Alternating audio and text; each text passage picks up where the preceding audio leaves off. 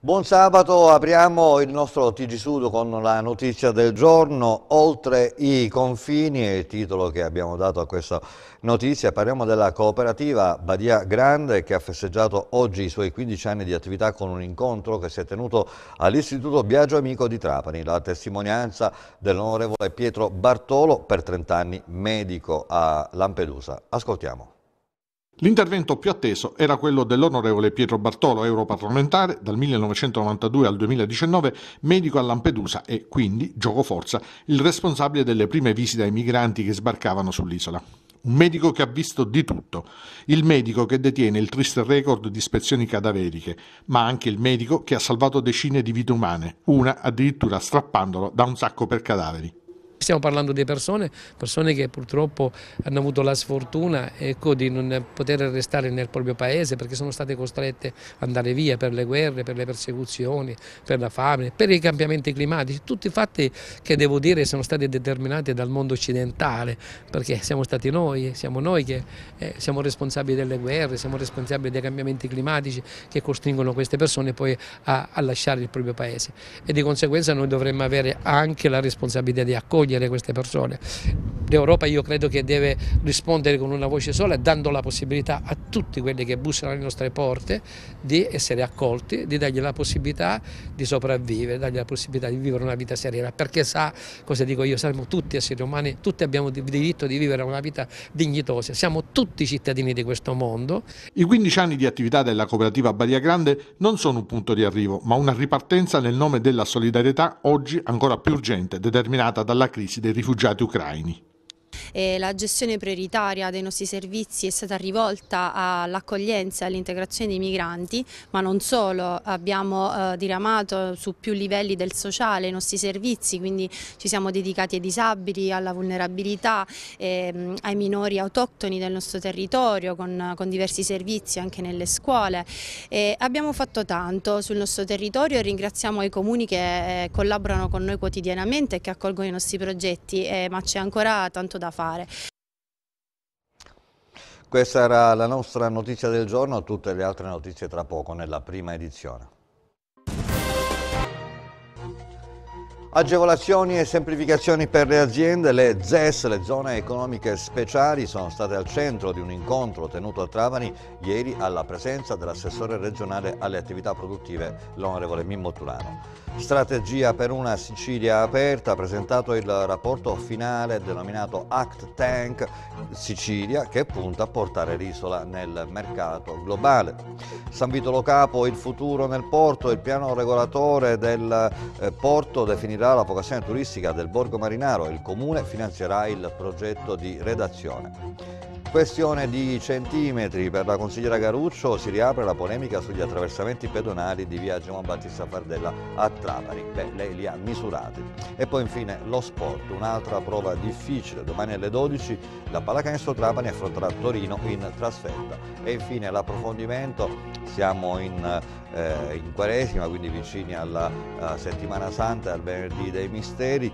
Eh, oggi eh, Claudio Martese ci racconterà degli aneddoti con i fratelli Strazzera, Mimmo e Luca. Con loro si eh, racconterà il dietro le quinte del venerdì santo, quindi non potete perderlo. E ieri a Trapani in questo convegno sono state presentate ufficialmente le zone economiche speciali, agevolazioni, semplificazioni per le aziende e non solo. Sono due in Sicilia le, le ZES, una nella Sicilia occidentale e una nella Sicilia orientale. Vediamo. In realtà il Ministro Carfagna, come sapete, ha già eh, approntato dei finanziamenti sulle ZES ritagliandole all'interno del PNRR. Proprio su Trapani il commissario della ZES è soggetto attuatore del collegamento ultimo miglio fra porto, retroporto, area industriale e quindi tutta l'infrastruttura viaria. Questi sono i primi passi che faremo insieme poi a uno sviluppo che terrà conto ovviamente della vocazione del territorio e di quello che già il territorio esprime, sperando che possa essere poi un fattore di attrazione per altre imprese, magari anche eh, che arrivano dall'estero. Da questo punto di vista sono fondamentali chiaramente i collegamenti internazionali, già il consigliere diplomatico del ministro Carfagna si è messo a disposizione, però anche attraverso la regione siciliana, in particolare l'assessore Turano, abbiamo potuto incontrare l'ambasciatore di Israele che ieri è stato in visita come sapete in Sicilia e comincia una serie di contatti importanti sperando che siano un'opportunità, ripeto, sia per le imprese già esistenti sul territorio sia per quelle che vogliono investire. Ma questa è un'occasione molto importante per lo sviluppo del nostro territorio e in maniera particolare per il settore marmifero di Custonaci. Avere Custonaci, il distretto del Marmo e la zona economica speciale è un evento eccezionale. Da anni il governo della regione non si occupava del settore marmifero, questa è un'occasione straordinaria e devo dire che eh, gli imprenditori del Marmo hanno due opportunità, le ZES e il settore del Marmo per avere un grande sviluppo. Devo dirle, giorni fa mi, è, mi, ha chiamato un imprenditore del nord, sapendo che questo anno c'era zona Z, cercava delle aree per fare un'attività un imprenditoriale. Io ringrazio l'assessore Tolano perché eh, eh il settore marmifero di Custonaci è tra i settori più importanti dal punto di vista economico della provincia di Trapani, ha una grande capacità di esportazione del marmo in tutto, in tutto diciamo, il mondo, compreso i paesi americani. Eh, avere avuto la possibilità che le ZES, il distretto Custonaci, territorio di Custonaci, distretto del Marmo che è sicuramente, noi siamo il secondo bacino marmifero d'Italia, è sicuramente una cosa eccezionale.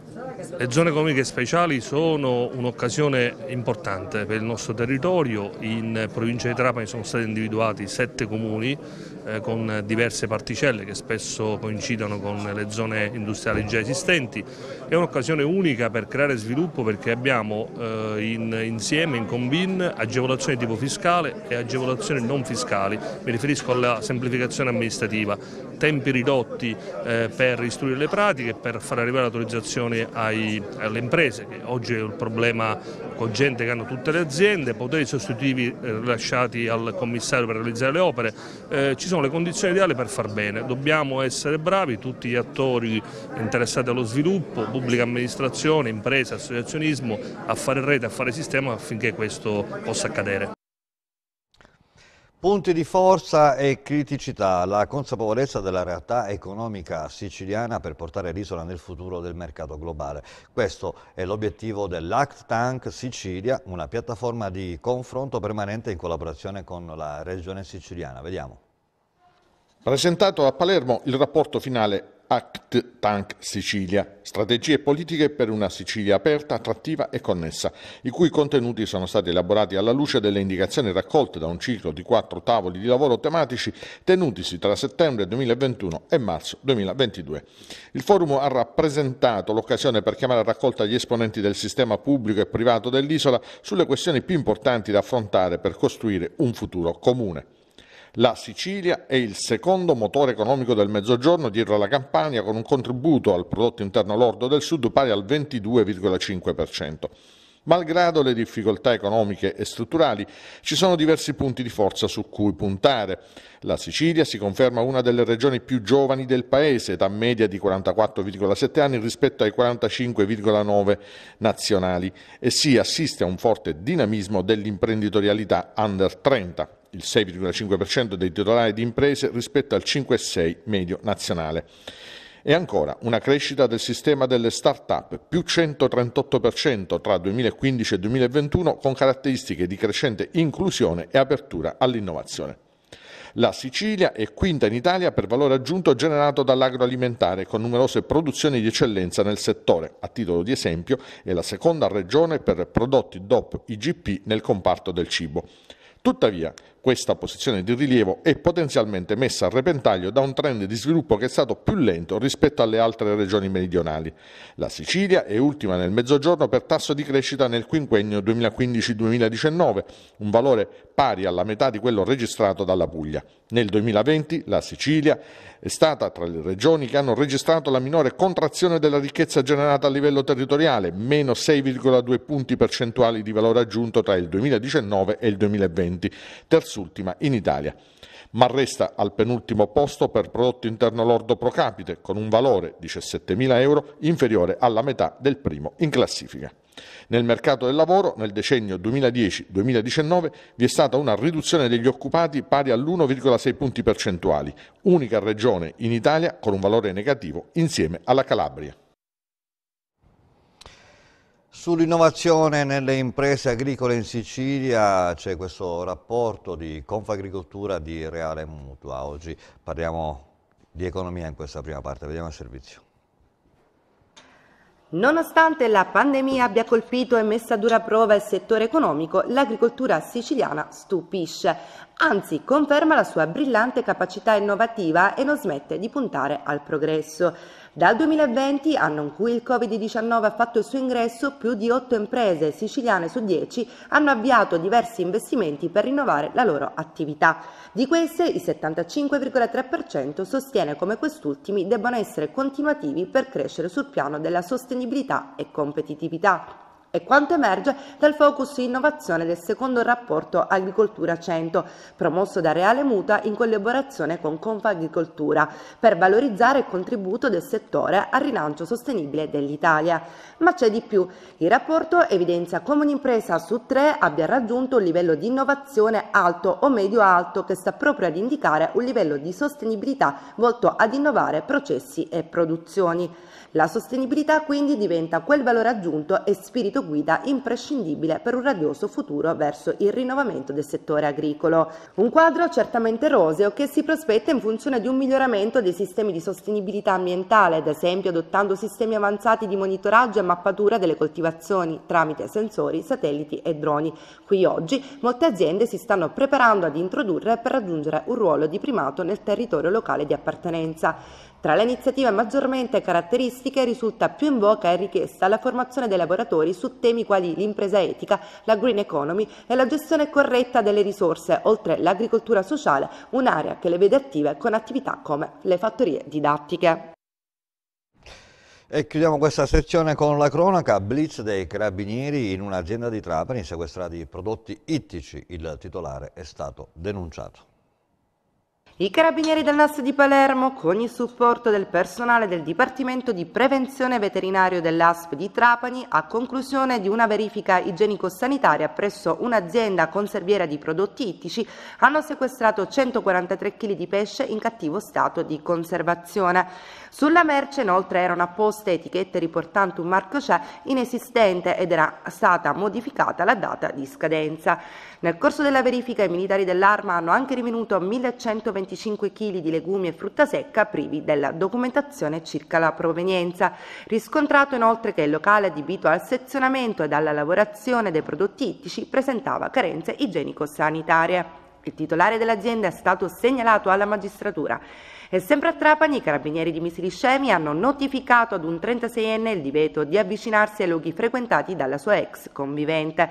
Il provvedimento restrittivo è stato emesso dal GIP del Tribunale del Capoluogo che ha condiviso le risultanze investigative raccolte dai militari dell'arma, ai quali la donna si è rivolta perché temeva per la propria incolumità. Dalle indagini è emerso uno scenario di violenze sia fisiche sia psicologiche che ormai si verificavano con cadenza quotidiana. Oltre ad essere colpito dal divieto di avvicinamento, l'uomo dovrà anche indossare il braccialetto elettronico. Abbiamo altro da raccontarvi tra poco nella prossima sessione del TG Sud. Adesso parleremo di San Vito Lo Capo e del futuro del porto della località turistica tra le più oh, ambite in Sicilia e poi dei dossi su via Fardella. La consigliera comunale Anna Garuccio è andata a misurarli e non li trova regolari. Infine lo spazio allo sport, soprattutto con la prova difficile della pallacanestro Trapani. Andiamo a San Vito Lo Capo dove nei giorni scorsi sono iniziati i lavori di escavazione dei fondali del porto e di ripascimento del litorale. Il futuro turistico della borgata marinara comunque è legato al nuovo piano regolatore generale. 25.000 metri cubi di sabbia prelevati dalla zona esterna del molo di sottoflutto a protezione del bacino portuale andranno a ricostituire l'arenile sabbioso dell'area a levante, dove negli ultimi anni si è verificata una forte erosione. Questo è solo un primo passo di un più ampio obiettivo, ridefinire le opere portuali e progettare il nuovo piano regolatore del porto di San Vitolo Capo. Attraverso questi due interventi ridisegnare il futuro turistico legato alla nautica di porto nel borgo marinaro.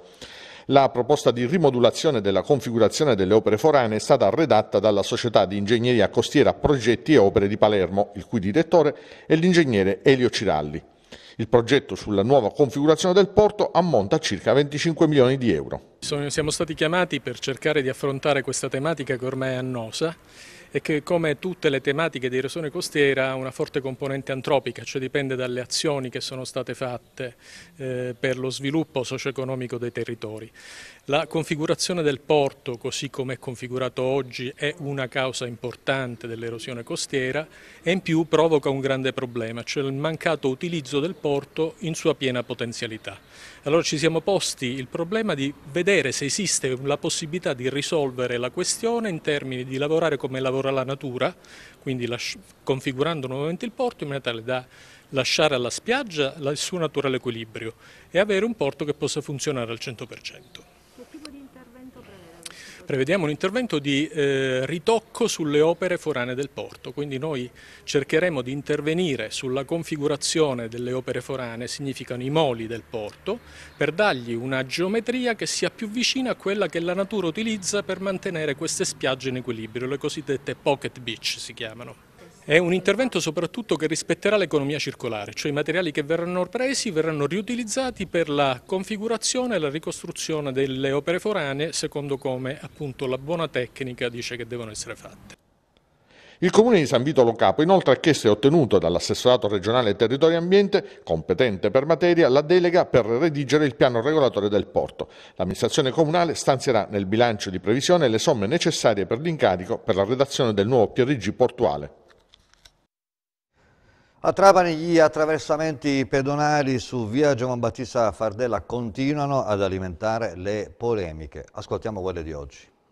Appena ieri il collaudo informale dei percorsi tattili sui quali si dovranno pronunciare le associazioni di ipovedenti e non vedenti e oggi una nuova questione viene aperta dalla consigliera Anna Garuccio.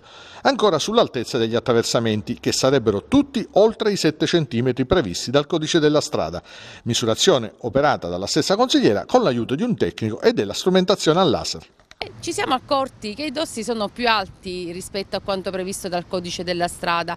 Per l'esattezza proprio quello posto dinanzi la, mm, eh, sede dei Salesiani misura 14 cm, eh, quello um, dinanzi al negozio che si trova alla, nostra, alla mia destra invece misura, se non ricordo male, ecco, misura 13 cm. Dunque i rilievi che io ho preso ieri sera eh, dovessero essere esatti, significa che la città di Trapani, la via Fardella, dal mese di ottobre, quindi da ben 5 mesi, non rispetta il codice della strada. Scriverò oggi stesso, ovviamente lunedì eh, ne prenderanno visione gli uffici e scriverò all'ufficio tecnico chiedendo una perizia da parte del, mm, dell'ufficio tecnico e del RUP per vedere se i lavori rispettano quello che è la norma del codice della strada. Si chiama Giuseppe Rizzo ed è l'autore di un lavoro di ricerca musicale sviluppato per il teatro e per la danza, un lavoro tra l'altro molto suggestivo ed originale. Domani per il cartellone degli Amici della Musica di Trapani, Rizzo si esibirà al Museo San Rocco. Nel servizio che segue ci presenta lo spettacolo, ascoltiamolo. Solo Electroacoustic Experience non è un semplice concerto, è, è più un esperimento è il frutto di una ricerca condotta da tanti anni a questa parte ormai nel campo dell'interazione tra suoni reali, suoni acustici e, e la loro rielaborazione in chiave elettronica. E, provate a immaginare il suono di una chitarra, il suono del bicordo, questo bellissimo strumento costruito apposta per me dall'idaio palermitano Francesco Cimino, o addirittura il suono di un semplice carillon,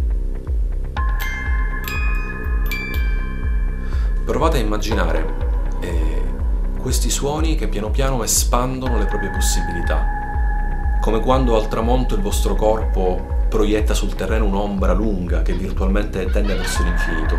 Ecco, questo sono solito dire della mia musica. Eh, io sono alla ricerca delle ombre dei suoni. Provate a immaginare appunto questo suono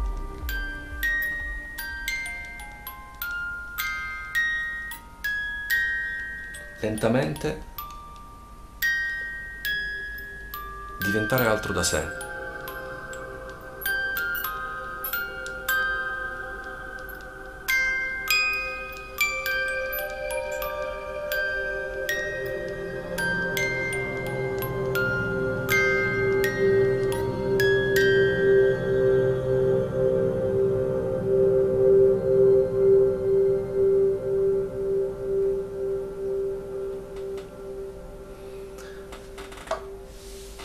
Questo ed altro durante la mia performance che avrà luogo domenica 27 marzo presso il Museo d'Arte Contemporanea di Trapani, l'Oratorio San Rocco, per gli amici della musica di Trapani. Vi aspetto. Per gli appuntamenti su Telesud alle 19.40 manderemo in onda il magazine con la selezione delle più importanti notizie della settimana. Stasera invece alle 20.30 e poi domani alle 9 e alle 15 manderemo in onda, lo vedete qua dall'immagine, le scinnute dei sacri gruppi, dei misteri, nell'ordine. Prima quella del ceto dei fornai, poi il ceto dei calzolai e calzaturieri, il ceto dei macellai e infine il ceto del popolo. Domani alle 21 e alle 23 invece una nuova puntata di Res Pubblica Sicilia chiama Europa con me in studio ospiti ci saranno nella prima parte il sindaco di Marsala, l'onorevole Massimo Grillo, e nella seconda parte il sindaco di Casalmare del Golfo, Nicola Rizzo, con l'assessore al turismo Maria Tesè.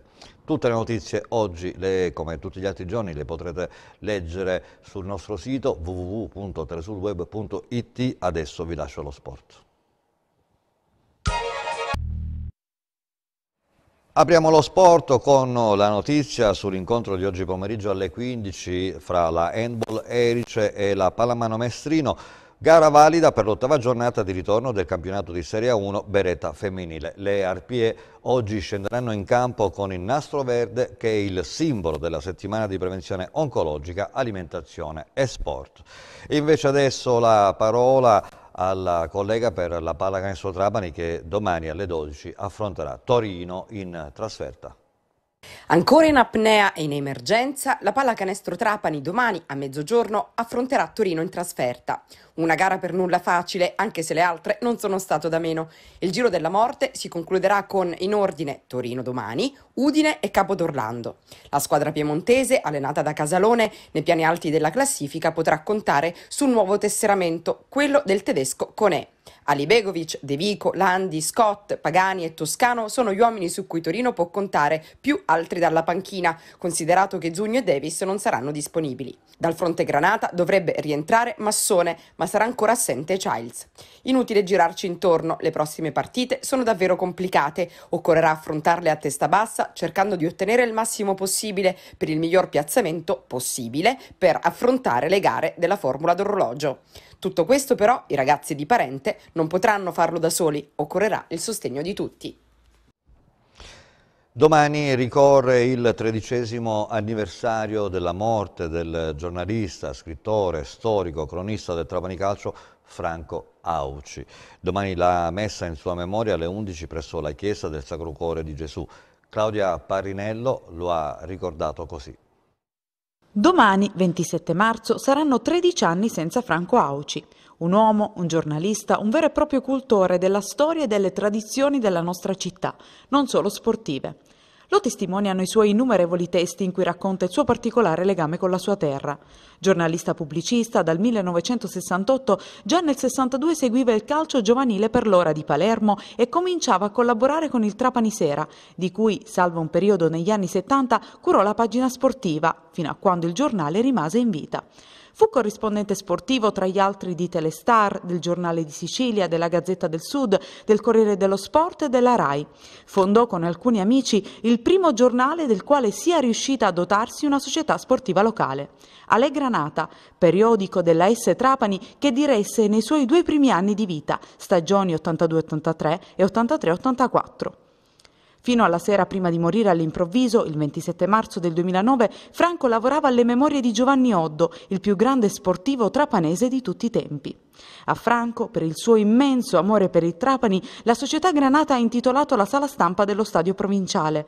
La sua famiglia invece organizza ogni anno un memorial in suo ricordo, dal titolo Facciamolo conoscere ai giovani. Si tratta di un premio letterario a cui ogni anno partecipano diversi istituti scolastici del territorio, il cui fine è quello di dare visibilità e contribuire alla conoscenza e divulgazione delle sue opere, valorizzandone la realtà umana, storica e sociale. Evento fermo però dal 2020 a causa della pandemia, ma che la famiglia si augura di riprendere presto per coltivare la memoria di Franco e di ciò che ci ha lasciato. Chi ha voglia di conoscere meglio Franco Auci può visitare il sito a lui dedicato francoauci.it in cui sarà possibile scoprire chi era e che cosa ci ha lasciato oppure seguire la pagina Facebook nata in sua memoria. Intanto, domani mattina alle 11, Franco sarà ricordato durante la Santa Messa nella chiesa del Sacro Cuore di Gesù.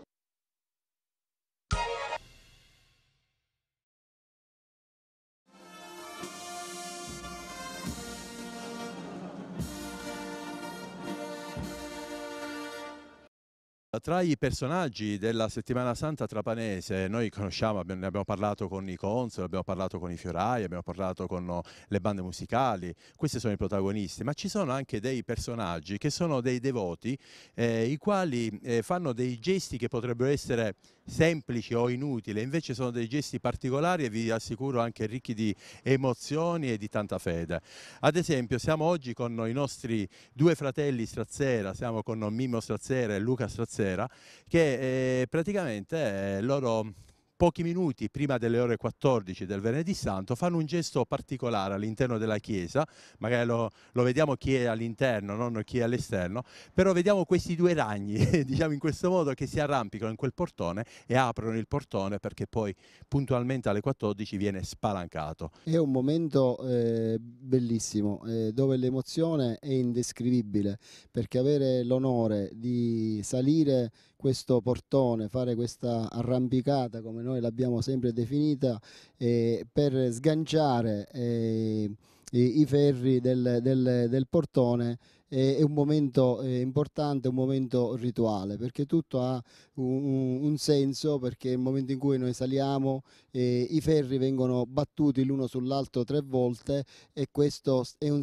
un, segnale sia per le persone interne che eh, stanno aspettando questo momento, ma anche per chi è all'esterno, perché riesce a percepire che questo è il momento dove eh, sta eh, per iniziare eh, eh, la processione. C'è un altro rito che si fa all'inizio della processione dei misteri, qualche volta si fa fuori esternamente, ma altre volte si fa all'interno e anche questo è un rito molto molto particolare, ricco di veramente emozione e di commozione. La sciaccolata. Nacque per, in forma di rispetto e ricordo di una persona, eh, diciamo, fra le più eh, importanti nel contesto del dei personaggi dietro le quinte della processione dei misteri, non eh, all'esterno, che ci ha lasciato.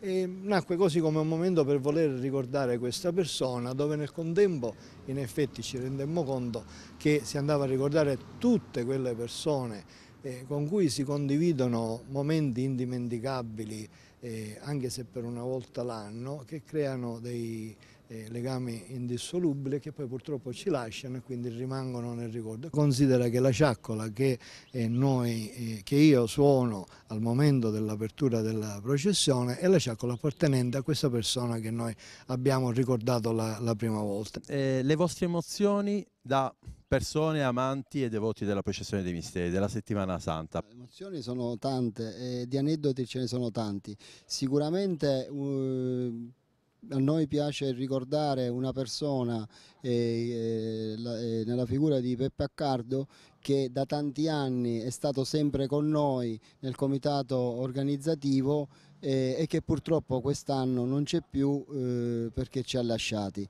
e quindi sicuramente il ricordo va eh, proprio a questa persona eh, cui eh, abbiamo fatto assieme tante e tante processioni. È un po' difficile perché di aneddoti in io ho iniziato la prima processione da partecipante a 12 anni e, e poi da 16 anni milito diciamo, nell'organizzazione interna del, del, Dietro le Quinte. Oggi ho 58 anni, qualche processione è passata, per cui di aneddoti, così come di persone che sono scomparse, come Giuseppe che ci ha lasciato, eh, ce ne sono tanti. Emozioni possono essere quella degli occhi di Giuseppe che ci guarda dalla fessura, che poi la fessura portalettere del portone della chiesa eh, per, che era l'unico momento di posto di comunicazione fra l'interno e l'esterno durante l'inizio della processione e quello sguardo sicuramente rimane impresso nella mia mente e sicuramente in quella di mio fratello eh, in maniera indelebile. Le emozioni sono quelle di eh, portare lo stendardo ed essere solo eh, con te stesso davanti a questa moltitudine eh, di persone, ultimamente negli ultimi 30 anni anche con le telecamere, eh, che ti fa emozionare in maniera sicuramente diversa da quando lo facevamo quando avevamo 15 anni, 16 anni, 17 anni, in cui la processione era solo fine al, agli spettatori che avevi, che avevi davanti, adesso ti rivolge a una platea sicuramente diversa.